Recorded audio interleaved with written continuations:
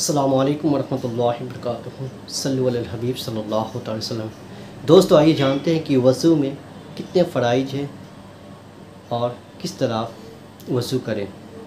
क्योंकि आप नमाज़ में जब शामिल होते हैं तो उससे पहले नमाज़ के लिए वज़ू सबसे इम्पोर्टेंट रखता है। वज़ू के बगैर नमाज़ नहीं। तो इसे आप समात फरमाएँ। मर्द हजरात ख़वातीन हजरात दोनों से गुजारिश है कि इसे आप अपने जहन में बैठा लें। किस तरह वज़ू में कितने फ़राइज हैं और किस तरह वज़ू करें, इसे गौर फ़िक्र करें। तो वीडियो को शुरू करने से पहले चैनल पर नए हैं तो चैनल को सब्सक्राइब कर दें और बेल आइकन को भी दबा दें ताकि नोटिफिकेशन आपको सबसे पहले पहुँच सके।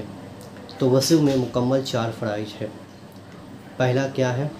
पहला है अपने चेहरे को अच्छी तरह से धोना।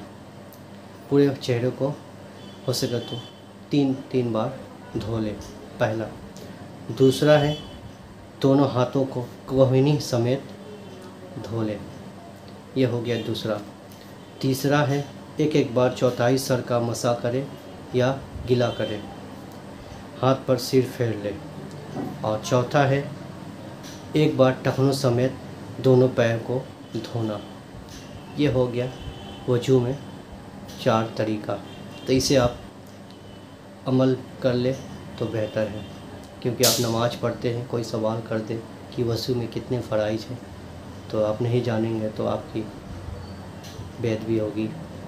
आपको इस्लाम के दीन तालीम सीखना हर मोमिन, मर्द, औरत पे फ़र्ज़ है। तो अल्लाह इस प्यारी सी बातों पे हम सबको अमल करने की तोफ़ी अदा फरमाएँ। अल्लाम वरहमल वर्क जजाकल्ला खैर। अपना ख्याल रखिएगा।